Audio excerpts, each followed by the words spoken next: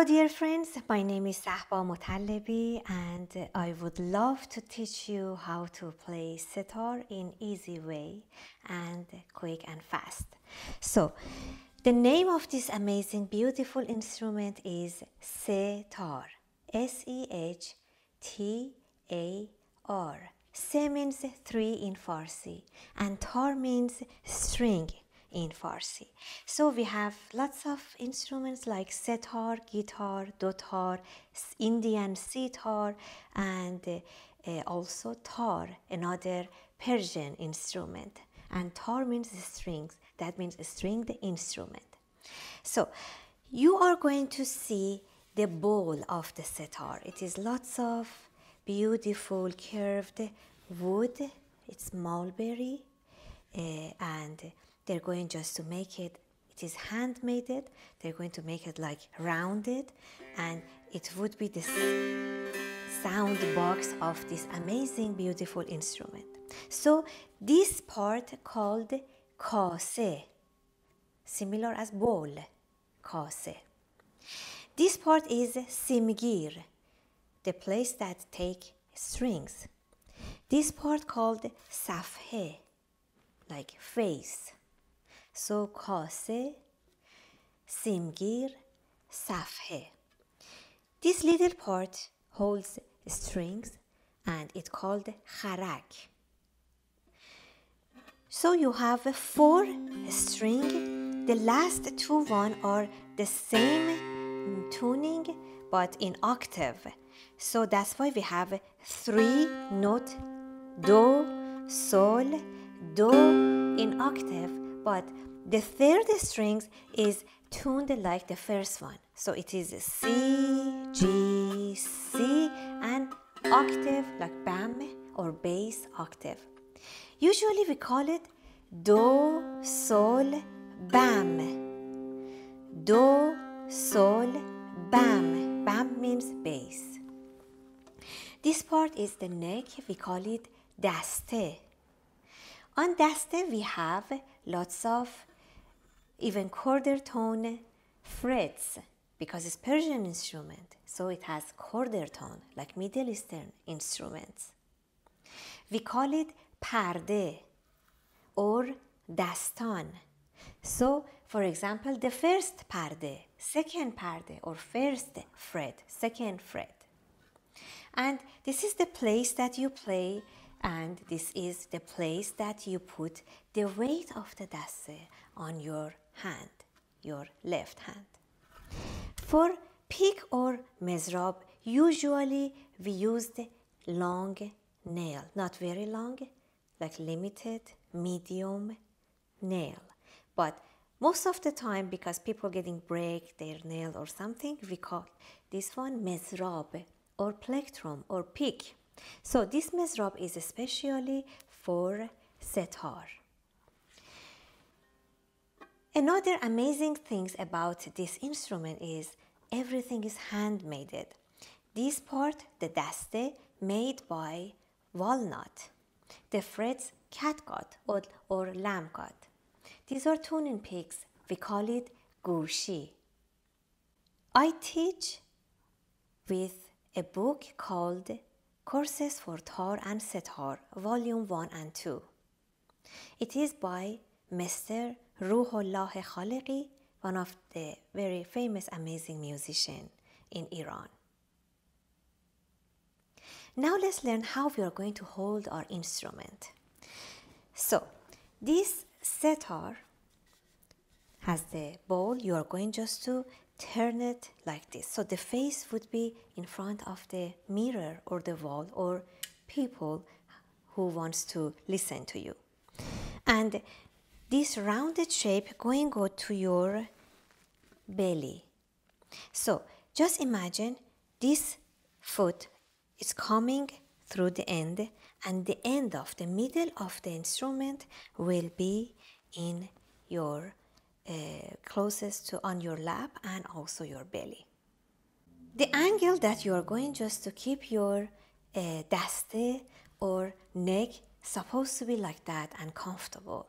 You cannot keep your instrument like this or this So the angle supposed to be in form very beautifully on your shoulders and very relaxed. Your neck supposed to be so relaxed and the angle would be like this. The way that you are going to uh, play the instrument on a string is so relaxed but supposed to have the strings. We call this motion mezrab rast. It's coming through yourself and this is the main mezrab that we are using. And the opposite of that, like this, we call it mezrab chap. So rast chap, rast. How you are going to put this hand on your setar. Your thumb going go to the on the surface or safhe. Your fourth finger coming to the safhe. So thumb, fourth finger, and this part easily, not with pressure or pressure or just holding so tight. No, very relaxed and easily it will come on your kase and safhe. Other fingers supposed to be so relaxed, no pressure, and it's supposed to be like like water, like flying, like butterfly. So relaxed Even this finger shouldn't shouldn't be so like strong and pasted or glued to your safhe. Very relaxed. It's coming through it.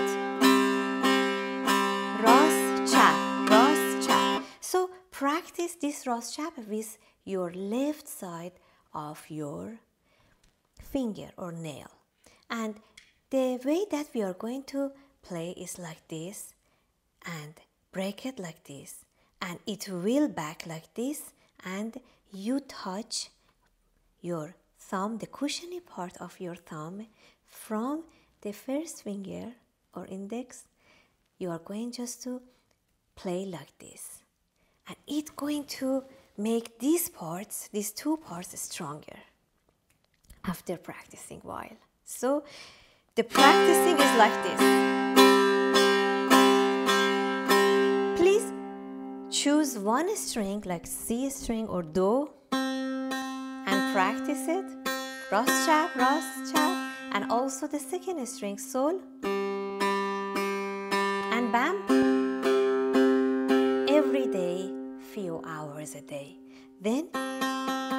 Better feeling about speed. But please do not put little finger like this. It's going it's not going to work like that you're supposed to bring it from top of your hand, your fingers. So it is like this, not small like this. Even for tremolo, for riz, it's not very small like this.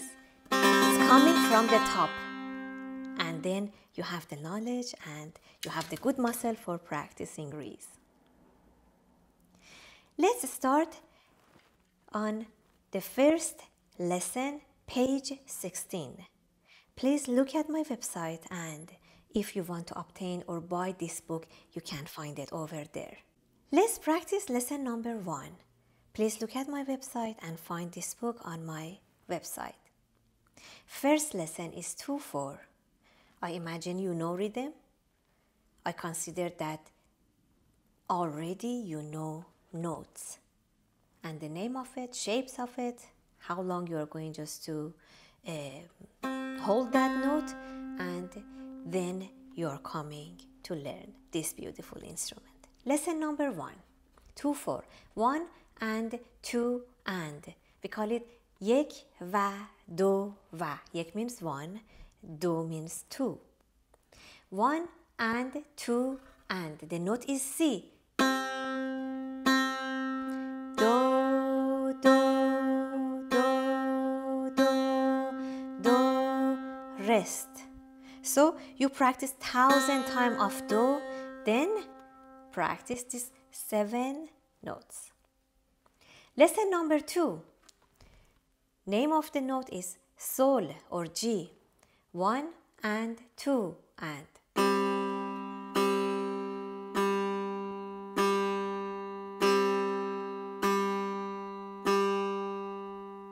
Lesson number three. One and two and do, do, sol,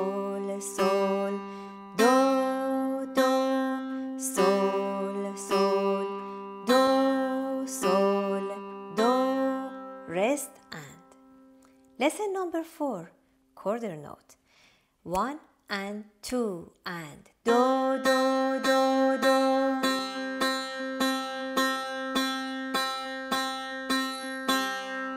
Rest.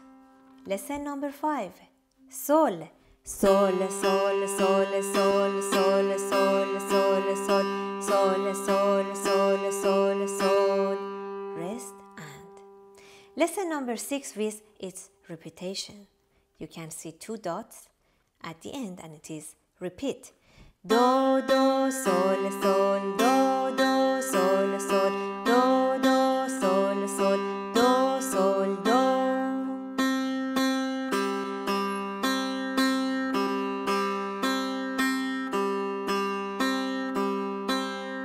Lesson number seven. You are going to experience the first fret with your left hand. Okay, we are talking about left hand now. Just imagine you're walking, so relaxed and comfortable. Just bring your hand here and you can touch the bone of your first finger here. And then put your thumb relax freely. Then you can see a little like triangle here. It shouldn't be like this. It is okay. You have the little triangle over there and your hand flowing through the neck very relaxed and comfortable and your shoulder and your uh, uh, upper hand every everything in your uh, body is supposed to be so relaxed.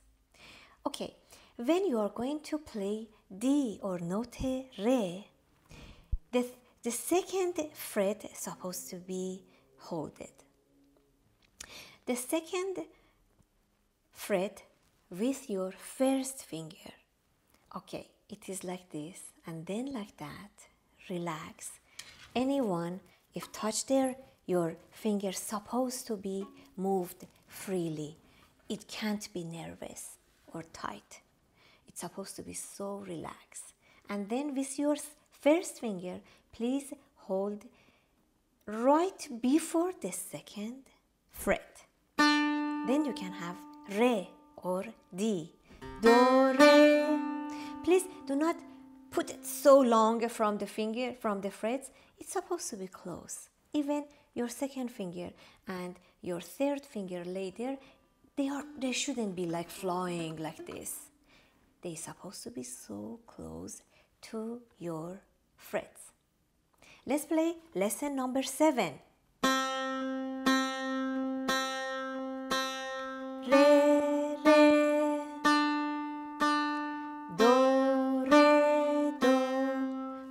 Practice thousand time of do re. And the you can see how it's going just to be affected on your first finger. The strings going to put its like a print inside exactly the middle of your first finger and it is correct. Same as re we have la do re sol la Lesson number eight. Sol, sol, sol, sol, la, la, la, la, sol, la, sol, rest. This is your first session.